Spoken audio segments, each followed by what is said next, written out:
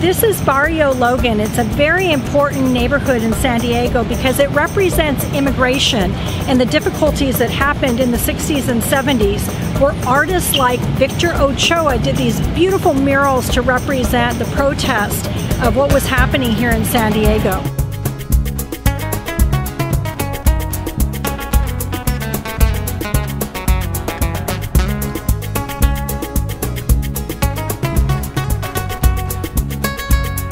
Is there a story that really was impacting or something that was pretty intense that happened there? You know, the history at Chicano Park is quite elaborate. The whole freeway, taking thousands of families out to build the freeway. So it was like they were destroying the community.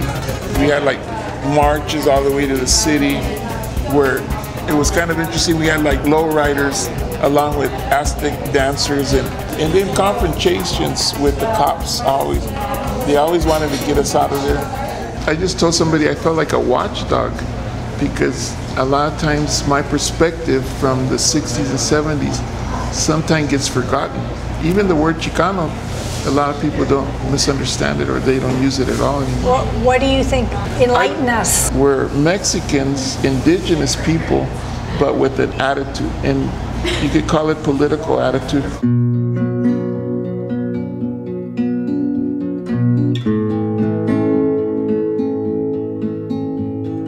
Much like the Native Americans, the Mexican community has had a lot of adversity here in San Diego.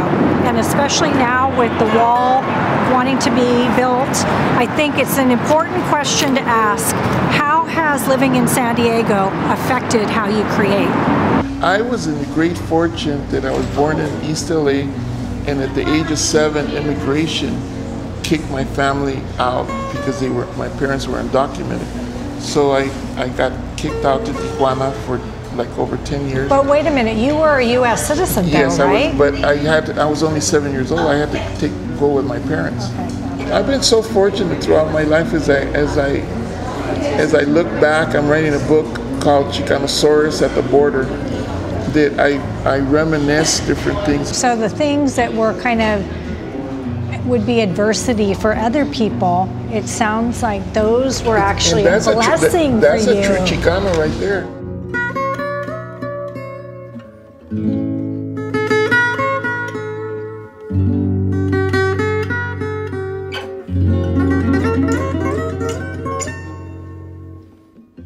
So Chicano Park has been uh, very important to muralists to the community and and internationally it, has been um, a voice of what Chicanos have done here in the Southwest.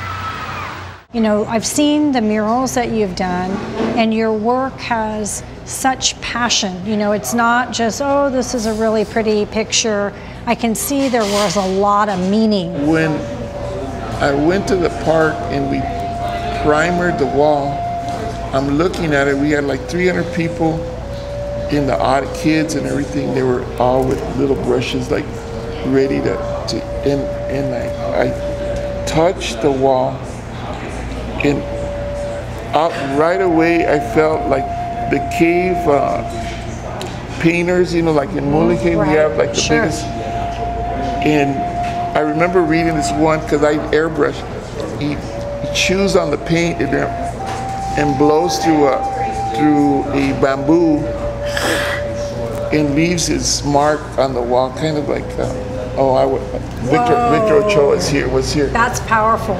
I had that prehistoric feeling. Then I had the the pre-Columbian feeling of the Mayas and the Aztecs, and I'm like, here we are, Chicanos, and we're we actually felt like we were holding a torch of contemporary times, and that yes, we had the obligation, the responsibility of all of that behind us. I want to, I do want to leave a, a, some kind of a legacy that that it has some kind of respect to it. You know, I, you know, I have to say that being proud of who you are is super important.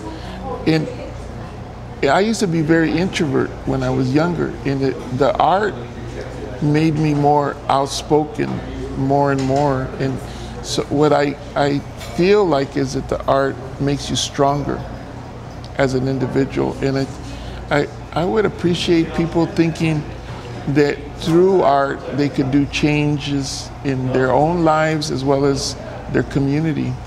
Reflecting on this artist, Victor Ochoa, has been such an incredible journey because I've been able to really understand the adversities that he's come from and the fact through all of that he could have turned to drugs, gangs, but instead he turns to art and we get to experience some amazing murals that are going to be there forever and really stand the test of time.